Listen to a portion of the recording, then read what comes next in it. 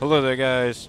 So today I'm going to be showing you guys how to solo City Hall, which seems like a pretty hard area to attack, but with how the AI reacts to players attacking now, it's actually very easy to do it. Just follow the simple tutorial, you'll be able to do it yourself. I do suggest doing this with a friend because it always makes it easier and a lot more fun to do it with a friend. But other than that, let's get into it. So first you want to spawn at Ronograd City and then you want to grab yourself a Jeep or some other vehicle that you can get out immediately from. Side doors basically. So Humvees and Jeeps are basically it.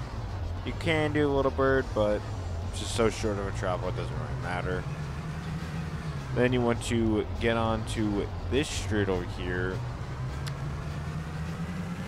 Then you want to stay in the left lane. You're gonna drive down this street. You're gonna see this like a little opening area.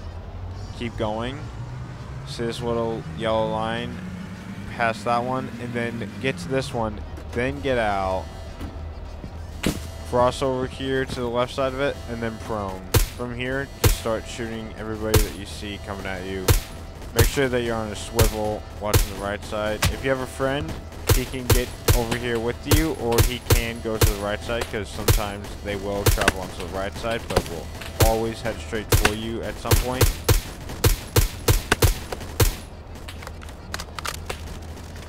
That guy, he's on the left side. He's gonna hit those signs, so it's gonna be fine. They do pass the signs occasionally, but usually there has to be more than one there. Like, look here. They hit the signs. It is unfortunately a bad hit reg spot, but it stops them pretty well. Never thought a, a non-stop sign would stop a smoker. Actually, that, I think that does say stop.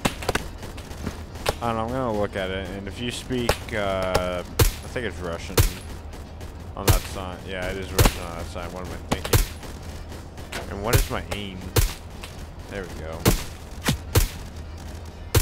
How did I just break all three of those?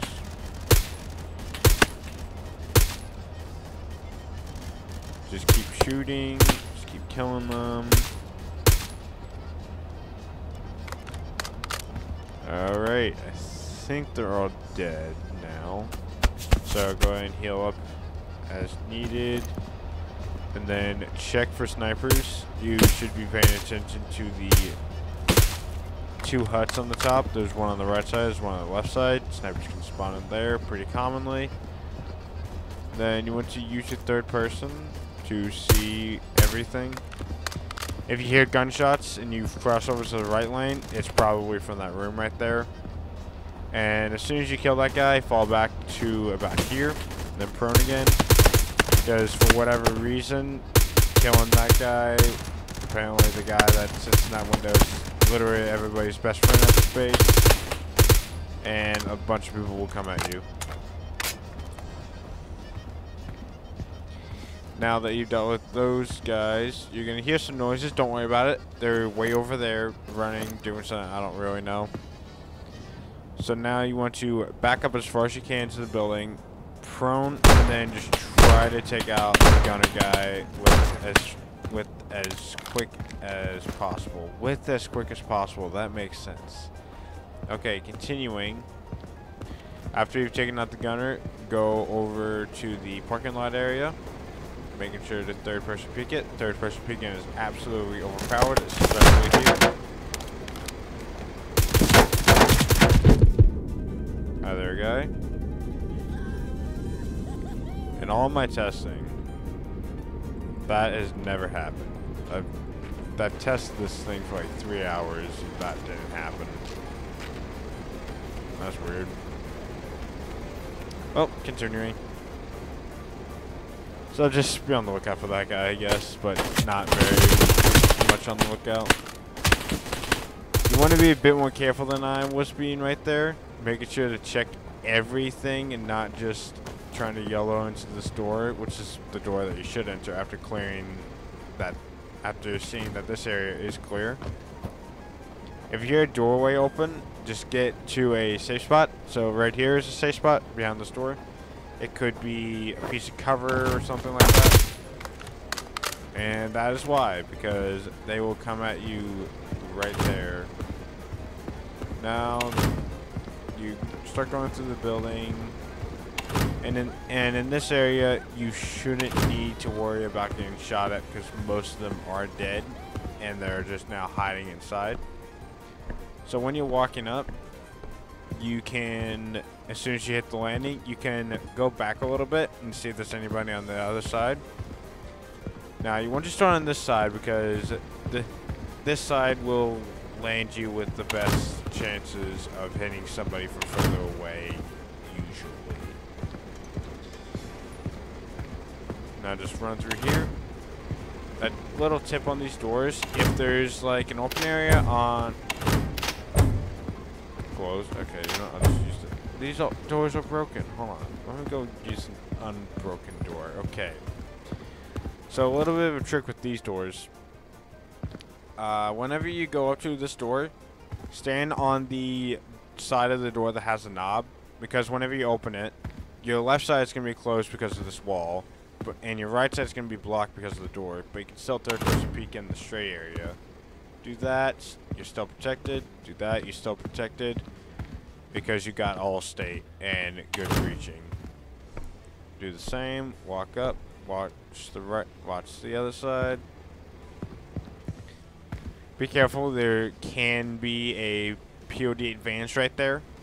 Super dangerous, even at this range. Do not believe there's any doors on that side.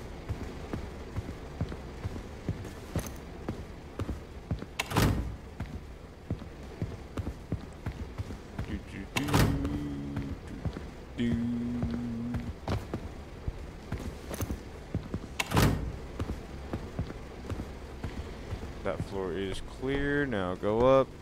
You can now just look at the roof now since you've already basically cleared all that. And now come over to the other side. Check it again.